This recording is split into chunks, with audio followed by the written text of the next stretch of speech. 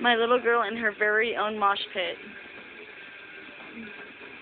Go, Tori.